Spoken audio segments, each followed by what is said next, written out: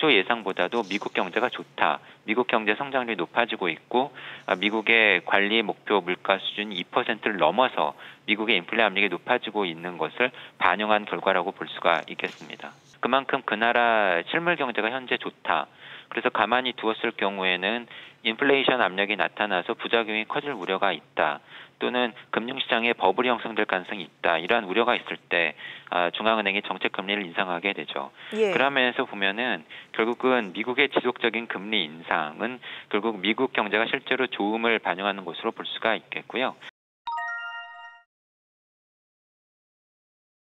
사실 한미 정책 금리가 역전되고 외국인 자금이 이탈하면서 국내 금융시장에 충격을 줄 수 있다라고 하는 우려는 어, 올해 3월에 한미 정책 금리 역전이 시작되기 이전부터 오랫동안 지속되어져 왔던 주장이죠.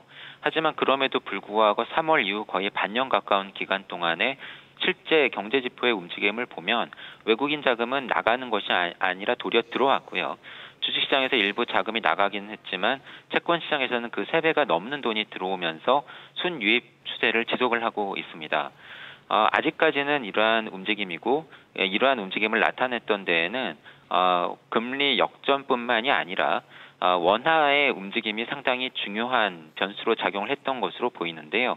결국은 외국인 투자자들 입장에서는 환전을 해서 투자를 해야 되고 투자해서 얻은 수익을 다시 환전을 해서 뭐 가지고 나가야 되기 때문에 원화의 가치가 앞으로 오를 것인가 떨어질 것인가 하는 전망이 매우 중요하고요. 우리는 금리를 올리지 못하는데 미 연준이 금리를 인상한다라고 한다면 내년 말경에는 금리 역전폭이 1% 중후반 수준까지도 갈 수 있기 때문에 예. 그 정도 수준이 되면은 환율 변수의 영향을 배제를 하더라도 금리 역전폭만으로도 외국인 자금이 나갈 가능성이 커지기 때문에 우리에게 주어진 시간은 그렇게 많지 않아 보입니다.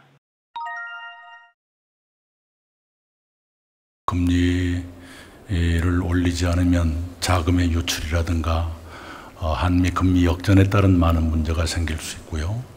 어, 또 가계부채의 부담의 증가 같은 것도 생길 수 있고 이 문제에 대해서 어, 좀더 심각한 생각을 할 때가 충분히 됐다. 사실 우리나라의 실물 경제 지표라든가 물가 지표만을 놓고 보면은 사실은 금리 인상이 쉽지 않은 어, 더 나아가서는 금리 인상이 적절한가 하는 생각을 하게 하는 지표 움직임이 최근에 나타나고 있습니다. 어, 2분기에 전기비 대비 GDP 경제 성장률이 0.6%에 불과할 정도로 상당히 부진했고요. 특히 향후 우리 경제의 고용이라던가 내수 소비 회복세에 중요한 역할을 할 수 있는 투자가 매우 부진하게 나타났고 어, 취업자 수 역시도 고용시장 지표들을 보면은 최근에 전년 동월 대비 만 명에 훨씬 못 미치는 5천 명 내지 3천 명 수준으로 크게 떨어진 상황이죠.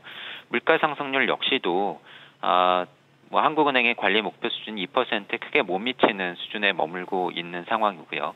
물론 가계에서 체감하고 있는 체감 물가 상승률은 높지만 어쨌든 한국은행에서 관리하고 있는 목표로 하고 있는 소비자 물가 상승률은 목표 수준에 크게 못 미치고 있습니다.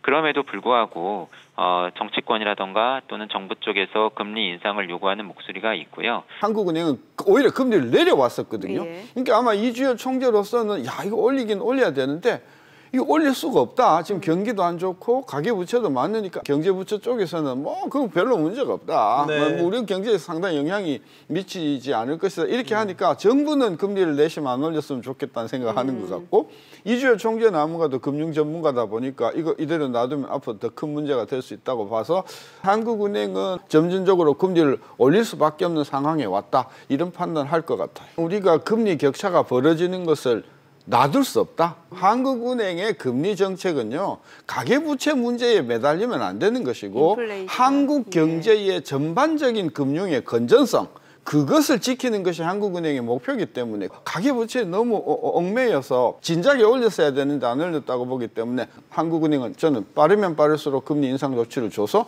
우리 대출자로 하여금 아, 앞으로 금리가 올라가니까 과도한 부채는 빨리 갚고 그다음에 무리한 투자, 무리한 부동산 투자, 무동, 무리한 부동산 투기는 서둘러 우리가 단절하는 것이 좋겠다라고.